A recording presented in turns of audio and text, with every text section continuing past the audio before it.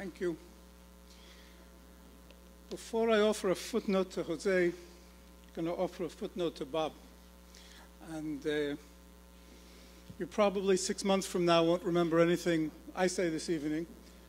Maybe you might remember everything that Jose said this evening, but this you'll remember. Um, I guarantee. So Bob mentioned the Cultural Revolution of the 60s and its derivatives today.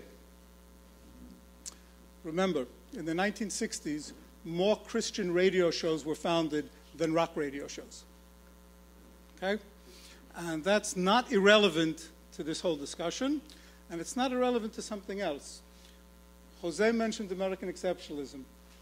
In another generation, in another time, American exceptionalism was not used to explain the religiosity of the American populace, but was used to explain or to delineate the failure of socialism in the United States.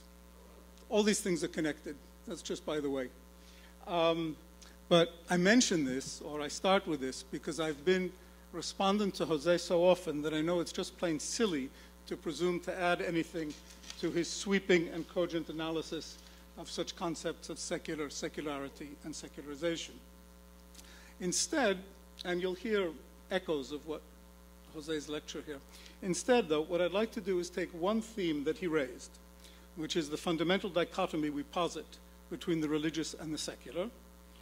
And I want to try to argue, as he intimated, that it's not a particular helpful one to use as we struggle to understand the challenges of social life in the contemporary world. As Jose rightly claims, we tend to use the concepts of religion and secularity or secular culture or secularization as if these were objective, universal, and value-free concepts that can be used to characterize aspects of social life that are not religious. Religion and religious too are used as universal, objective, and value-free concepts. Like him, I too believe that this approach is fundamentally flawed. And I too think that both religion and secularism are concepts that developed in a very particular and Christian context, can be used helpfully to describe aspects and periods in the coming to be of Christian civilization, but do not actually serve us well when we come to discuss, analyze, and understand other traditional civilizations or other civilizations within which tradition is changing and being renegotiated. And here is where I part company just a bit with our speaker. As my, in my understanding, Jose is still trying to make room for an emic understanding of what social scientists call religion from within a social science lexicon. And I wish to query, at least to query, if the lexicon itself is perhaps too limited to adequately embrace the phenomena in question. And you hinted at that at the end of your, of your talk. And, you know, let's be practical. What, for example, is a secular Jew? What of a Jew who observes no commandments, goes to synagogue only on Yom Kippur, and does not otherwise maintain any traditional practices? Is he secular or partially religious or what? How do we characterize China with a population of 1.3 billion? Inglehart has characterized China as the most irreligious country in the world. But if we consider the proliferation of spirit cults and other forms of worship, it becomes clear that this is not secularism in the general use of the term. What of the case of Islam? What of the individual or community whose observance of traditional commandments are partial or almost non existent? What of the Muslim who eats during Ramadan, but only in private, in hiding, away from communal eyes? Is he secular or hypocritical? What if she who does not eat during Ramadan but does drink wine occasionally? What of those communities in Central Asia who celebrate the Eid by drinking vodka? Actually, there's wonderful pictures from Kyrgyzstan of a whole group on, take, on the way to the plane to go to the Hajj, all of them lifting up a glass, right? It's fantastic. Um, are these people secularists or sinners or just plain ignorant? Or are they, as are so many, engaged in a never ending movement, interpretation, and transformation of that tradition. That is always continually being negotiated and negotiated anew by communities and individuals over the course of time. I would in fact claim, as we heard, that secularism is a very particular moment in the Christian process of negotiating its own tradition, as was the Protestant Reformation and is the, as is the phenomena of Christian fundamentalism. All are particular moments in the way the concrete practice of tradition mediates, transforms, and negotiates the tradition of practices that define the civilizational endeavor. That a particular moment of this negotiation in Christianity is, in, is understood in terms of secularization has much to do with the privileging of belief over practice, of faith over works, and of Innerlichkeit over an external practice that has been part of Christianity from its origins, as evinced among, in many things, in the rejection of Jewish law and the very particular allegorical way of reading and interpreting Scripture. This moment was one which, as is well known, received particular emphasis during the Protestant Reformation of the 16th century. Secularism as unbelief, I want to posit, is thus the complement of tradition, understood primarily in terms of belief rather than practice. The consequent use, I would say misuse of this term, to characterize other civilizational endeavors, the Jewish, the Islamic, the Hindu, the Confucian, and so on, is simply the spoils of war, as it were, a consequence of the power differentials between the Christian, Jewish, Islamic, Indian, and Chinese civilizations. Indeed, as I've already hinted at, I would much prefer to replace the dichotomy of religion and secular with that of tradition of practices, practice of tradition, as being a more structural, less particularistic, historicist, and Whiggish way of conceptualizing what is usually understood as the dichotomy between religious and secular individuals, cultures, and communities. We should recall, as Jose did, that Europe is the secular exception in a world that is overwhelming, overwhelmingly religious. Or, in the terms I am offering here, European civilization is one where traditional practices have been most abandoned and rejected, a fact that can be ascertained by visiting any of the churches in Europe and calculating the average age of those in attendance on any given Sunday. Moreover, this rejection of tradition is intimately tied up with the overwhelming terms of collective identity. Again, in fact, both phenomena are probably related. The Peace of Westphalia and the concept of cuius regio, eius religio may be central here, as Jose indicated.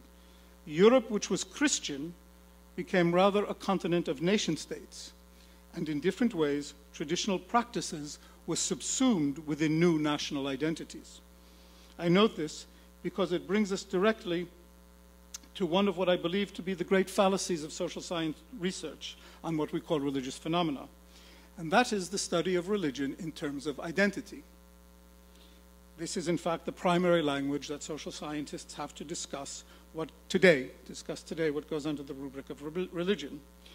As social scientists are not generally the followers of any sacred tradition, except perhaps that of Auguste Comte, they can but translate, the, that was a joke, by the way, they can but translate the behavior, attitudes, and dispositions that they find into a language that they understand.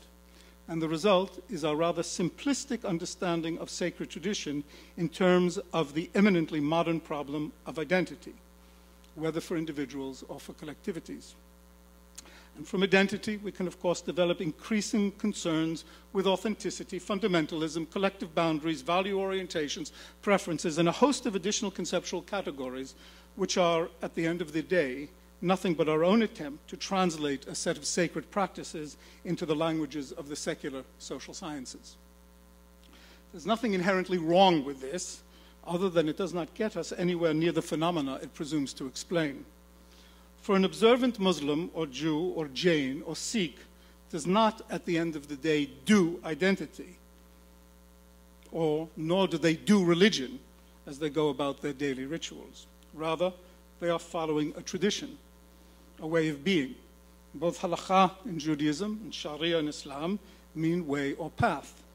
Christianity is referred to that as well in the Acts of the Apostles. That today, under the onslaught of modernity and modern conceptualizations, many Jews and Muslims conceive themselves as doing identity, not to mention identity politics, is precisely what has given rise to phenomena that we term fundamentalist.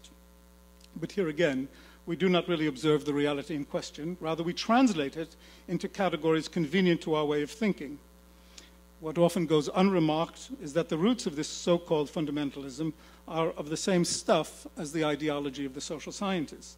That is, a secular ideology focused on individual and group identity and the realization, or if we use 19th century categories of romantic nationalism, the expressive realization of both.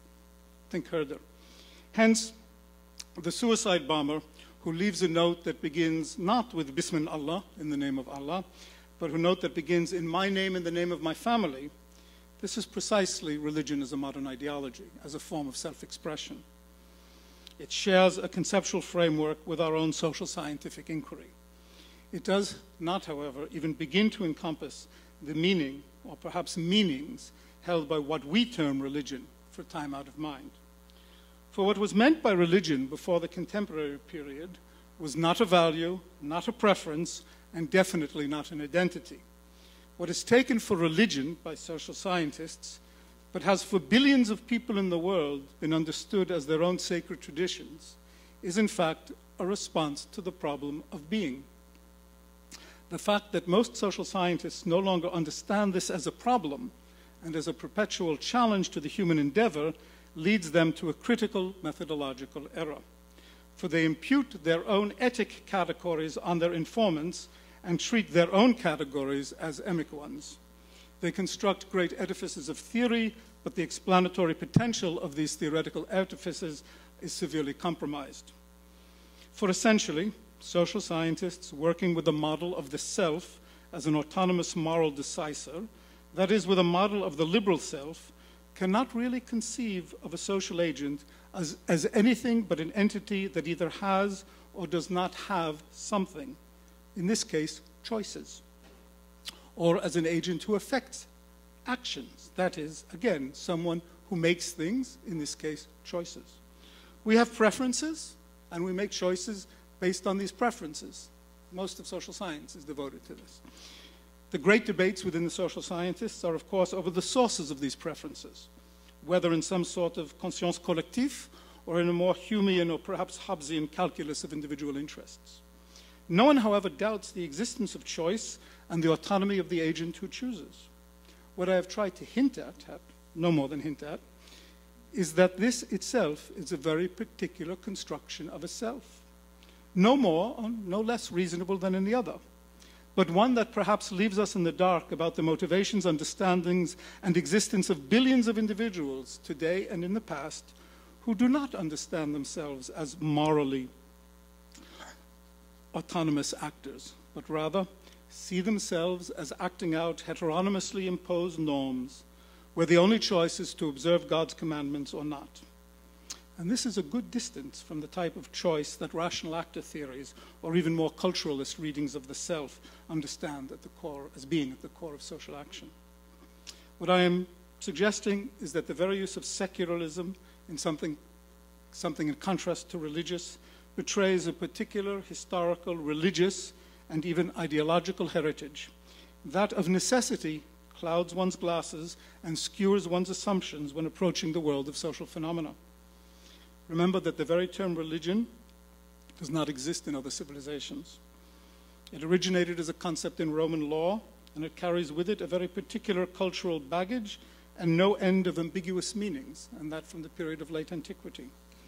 As William Cantwell Smith taught us, in the pre Christian era, it was best understood as an adjective rather than a substantive. If something was religio for me, it meant it was mighty incumbent on me to do it.